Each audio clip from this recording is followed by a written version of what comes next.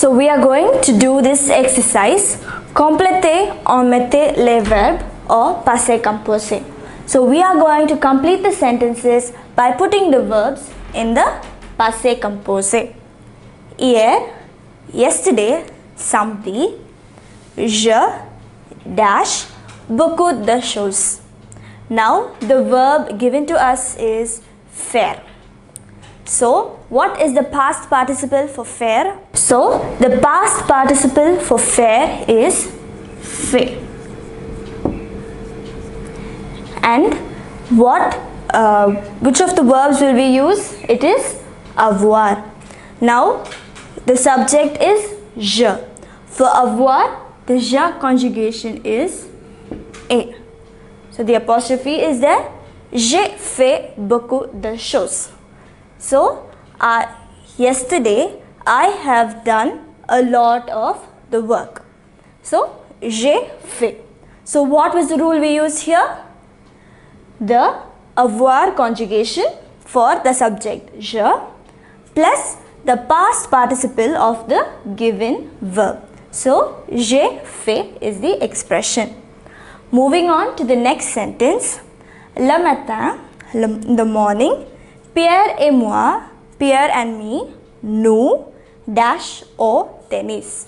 Now, the verb is jouer. So, jouer takes the avoir conjugation. So, for nous, it is nous avons joué. Nous avons joué. Now, for jouer, it is an ER verb. So, the past participle is we remove ER and replace it with E acute accent. Now, the next sentence, je dash.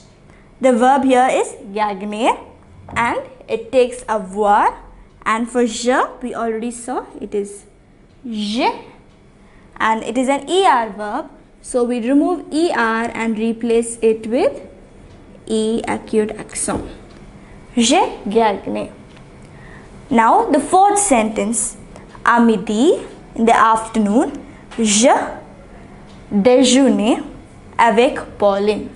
So, for je, again it is je. Déjeuner is again an ER verb. So, for an ER verb, we would remove ER and replace it with E accent. So, in all these sentences, the verbs were such that we needed to use the avoir conjugation.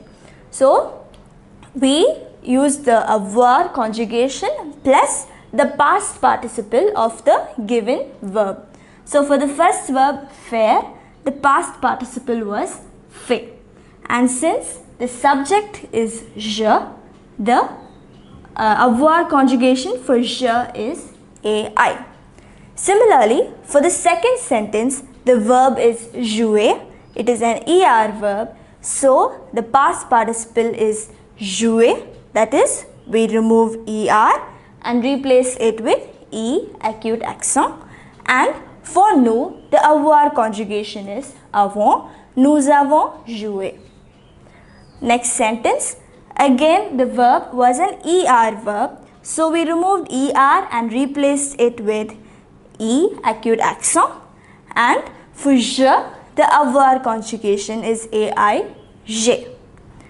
Similarly for the last sentence again the verb is an er verb so we remove er and replace it with e acute accent.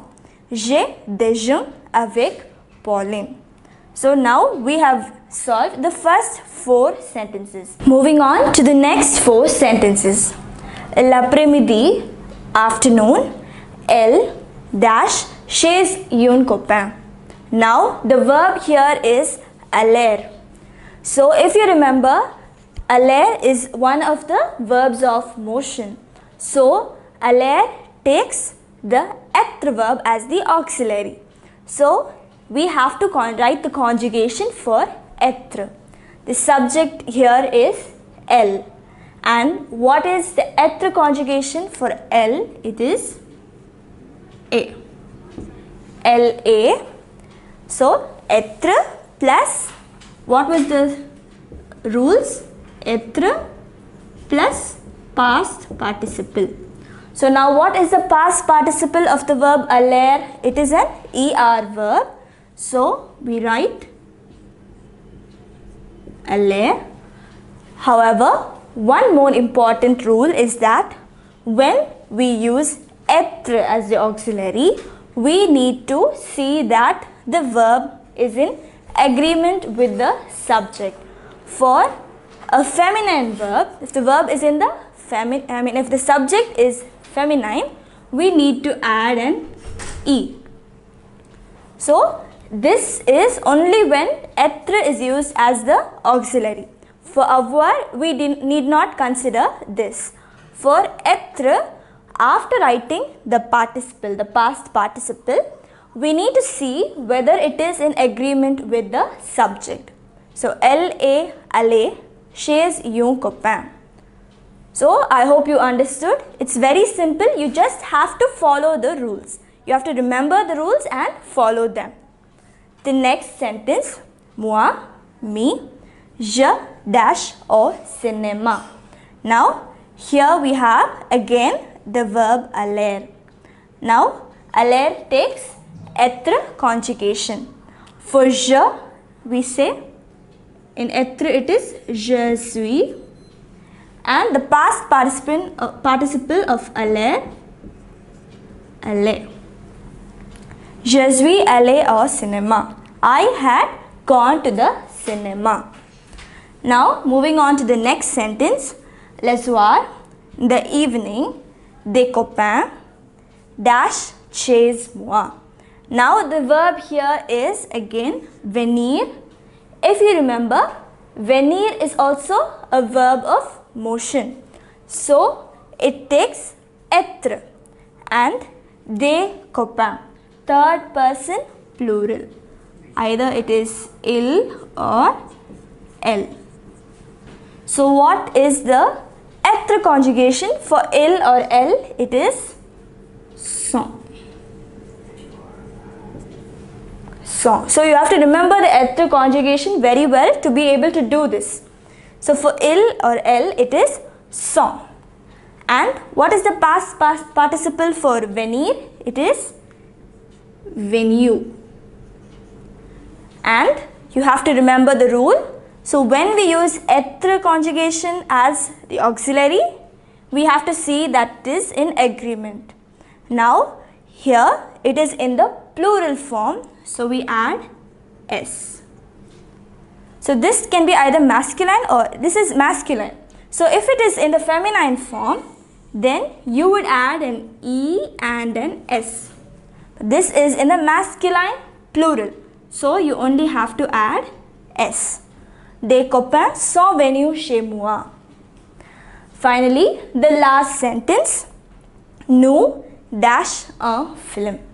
Regarder. Now, is regarder a verb of motion? No. So, it takes avoir conjugation. So, nous, for nous, the avoir conjugation is avons, nous avons, and the past participle of this it is an ER verb.